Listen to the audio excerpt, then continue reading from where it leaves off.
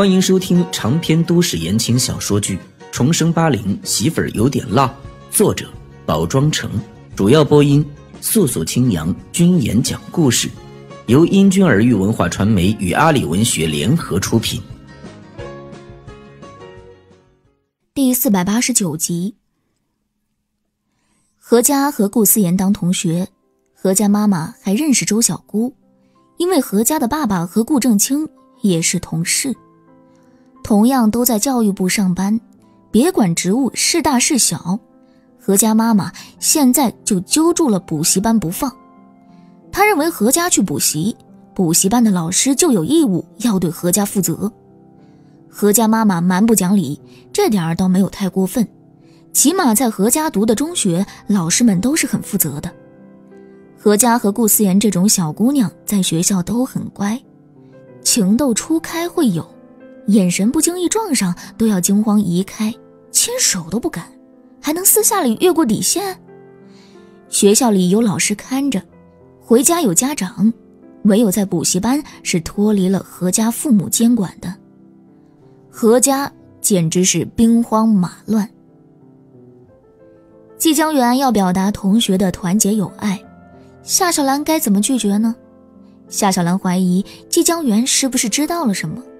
但季江源表达的太正常了，夏小兰也不想引起他的怀疑，就说自己要去医院，季江源跟着不太方便。说假话的时候最好得掺着真话，纯粹的假话很容易被揭穿，那就需要更多的假话来圆谎。夏小兰是真的要去医院，她希望季江源此刻能发挥他高情商的美国作风，善解人意。给他留足充裕的个人隐私空间，没想到季江源一脸关切。小刘同学哪里不舒服吗？我骑车搭你去医院吧。夏小兰神清气爽的，没有哪里不舒服。现在她觉得肝儿有点疼。季江源骑的是在八四年很拉风的山地车。一身品牌运动服配山地车，季江源更像是三十年后的大学男生，阳光朝气，脸皮也是一样厚。山地车后面连个座位都没有，怎么搭他去医院？夏小兰和季江源对视半天，屈服在季江源的坚持下。行，让你跟着。他要是反复的推诿，季江源就会更怀疑。夏小兰真的一点都不敢小瞧华清里面任何一个学生，观察力都很强，聪明的要命啊！季江源也不是白跟着，他还真是出于同学的情谊。就算不是夏小兰，昨天看见别的女同学被骚扰，季江源同样会管这事儿。一路上，他就和夏小兰讲了打听到的消息。他家里在高教司有关系呢。这人要是再来缠你，我举报他。夏小兰去举报就算了，高教司对大学生的前途影响很大。季江源是无所谓的，他不一定能在华清念多久，随时都可能回美国去。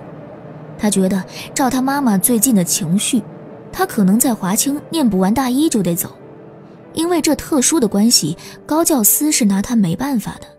季江源也不怕把天。捅一个大窟窿，没事儿，他可能就要自顾不暇了，哪有空找我麻烦呀？季江源的心意他领了，举报王建华还不需要。王建华虽然是个软饭王，却又有奇异的自尊心，心里怎么想的不说，表面上却又包装的极为要脸。夏子玉一家子会耍阴招，王建华这样的自持身份。估计想着怎么叫他后悔，怎么让他刮目相看。说的难听点儿，也就是个怂货。夏小兰也没把他和王建华的恩怨详细告诉季江源。夏总难道不要脸啊？虽然撞墙自杀的是夏小兰，可现在都会算在夏总头上，这可真没有拿出来说的必要。和季江源说着话，就到了医院。夏小兰把自行车架好，你帮我看住一会儿车啊，我上楼一下，很快就下来，行不行？唐洪恩出院是坐车，季江源在自行车棚这边，和唐洪恩碰上的几率很小。你一个人没关系吧？夏小兰神色自若。没关系，这时候只能我一个人去，在医院还是很安全的。等他走了，季江元在原地沉思。他看得懂夏小兰比较抗拒他跟着，这种打搅为难别人的事，季江元寻常是不会做的。就是昨晚有个冲动，让季江元控制不住自己，失礼不失礼的也顾不上。他不把这个疑惑搞清楚，心里是不会踏实的。夏小兰瞧着身体没有不适，那她来医院做什么？季江源不想打听女同学的隐私，他把车锁好了，自己转身往医院门口走去。啊，小兰，你来了。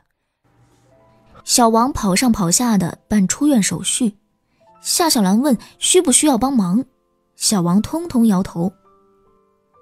那我去看看唐叔叔那边东西收拾的如何。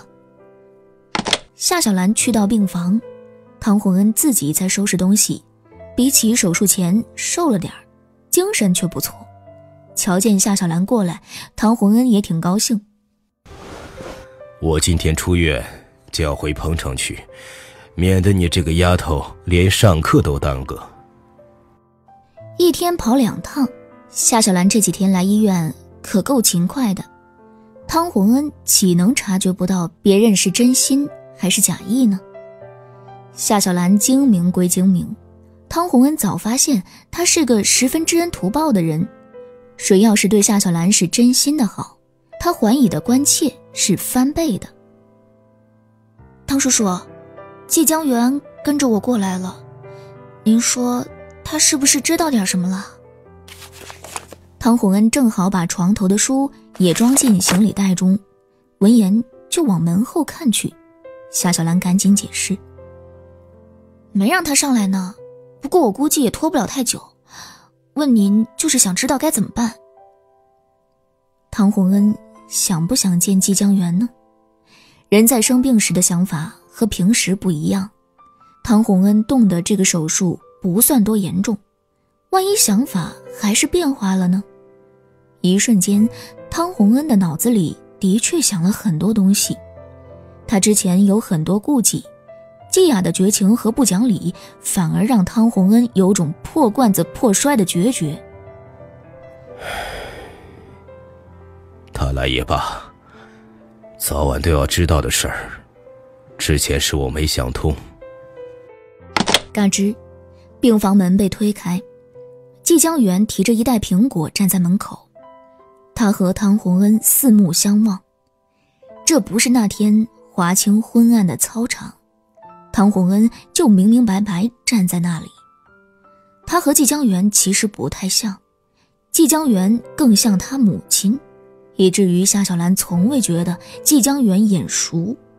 但父子俩有血缘关系，若说一点都不相似，那也不可能。汤洪恩是中年男人的气度，季江元是年轻男孩的朝气。父子俩有截然不同的气质，四目相望，那种血缘的羁绊无从遮掩。所以，你真的是……如果你还有小时候的记忆，那我的确就是和你有十二年没见面的亲生父亲，江源。我，我很抱歉。抱歉什么呢？抱歉，他缺席了季江元从七岁到十九岁这之间的时光，可能在他最需要一个父亲时，偏偏是没有的。